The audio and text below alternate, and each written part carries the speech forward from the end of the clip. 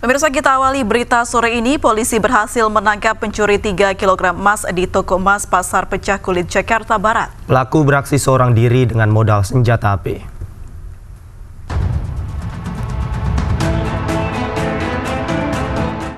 Perampok menggasak 4 kg emas di toko emas cantik Pasar Pecah Kulit Taman Sati, Jakarta Barat pada Jumat pekan lalu. Perampok melarikan perhiasan emas yang dipajang di etalase depan toko. Jika dihitung, kerugian pemilik toko mencapai miliaran rupiah. Pelaku beraksi saat hampir sebagian toko emas di pasar tutup untuk ibadah sholat Jumat, kecuali toko emas cantik. Jejak pelaku berhasil dilacak polisi dan ditangkap Polres Jakarta Barat. Pelaku yang sudah paruh baya ini dilacak polisi setelah mempelajari CCTV yang terdapat di toko emas. Pelaku menggasak 4 kg emas dari toko emas cantik di Pasar Pecah Kulit, Jakarta Barat. Tim Liputan iNews melaporkan. Selengkapnya terkait pencurian toko emas sudah bergabung bersama kami Kapolres Metro Jakarta Barat, Kombes Pol Audi Latuheru. Selamat sore Pak Audi. Dari hasil pemeriksaan, berapa yang terlibat dalam pencurian ini Pak? Pelakunya cuma satu orang, dia pelaku tunggal. Iya Pak. Pak Audi, berapa Pak yang terlibat dalam pencurian ini Pak? Iya. Iya, jadi pelakunya cuma satu orang atau pelaku tunggal. Jadi dia beraksi sendirian. Oh baik. Gitu. Lalu apa Pak motifnya Pak? Jadi menurut keterangan pelaku, dia kebetulan sedang terlilit utang. Kemudian dia mel- melakukan perampokan itu. Artinya ini dilakukan secara Sekarang spontan. kita sedang Pak? mendalami lagi. Iya. Kalau secara spontan ya pasti tidak, karena dia sudah melakukan perencanaan ini sudah jauh-jauh hari sebelumnya. Yang pasti dia sudah menggambar situasi dan memang dia juga orang situ, artinya tidak jauh tinggalnya dari TKP. Berapa Jadi Pak dia memang jumlah sudah emas yang berencana Ya. dan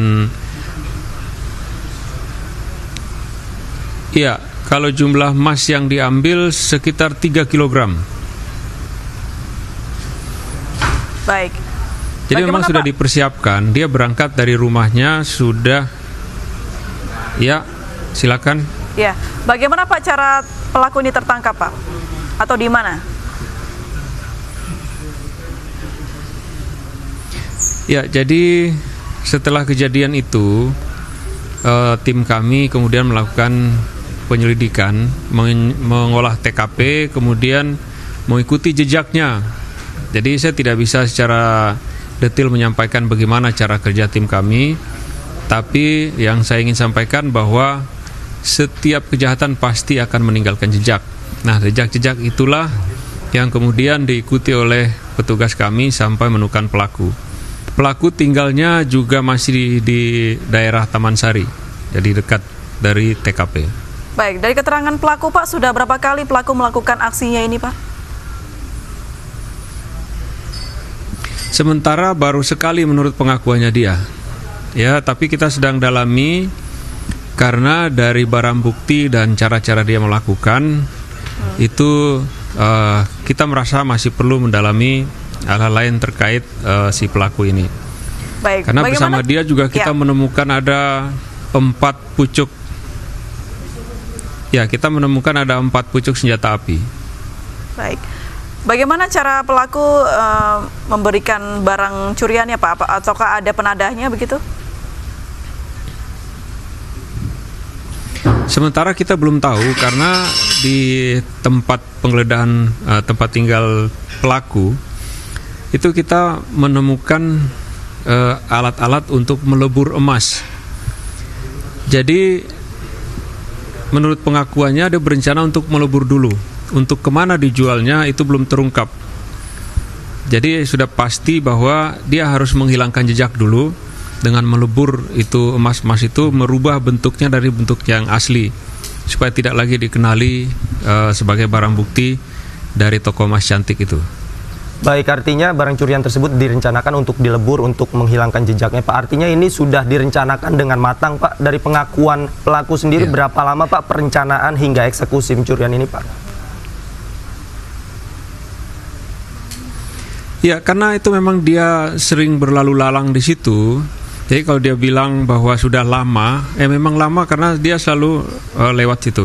Keterangan saksi juga salah satu yang kita tanyakan mengatakan bahwa dari matanya dia familiar. Itu waktu pertama kali kita ke TKP. Jadi eh, waktu kita menanyakan, kamu kenal sama orangnya? Ya sepertinya dari matanya saya familiar gitu. Karena memang orang ini sering-sering di situ rupanya gitu. Baik, untuk jaringannya sendiri Pak, eh, bagaimana langkah selanjutnya yang dilakukan ke pihak kepolisian? Kita belum ada gambaran tentang jaringannya. Sementara kita masih membaca bahwa yang bersangkutan adalah pelaku tunggal.